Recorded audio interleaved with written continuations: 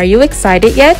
If you feel inspired by what you are watching, then stop dreaming and take action. Think you have what it takes to run a concession trailer? Then call Concession Nation and start planning your concession trailer. Time is money.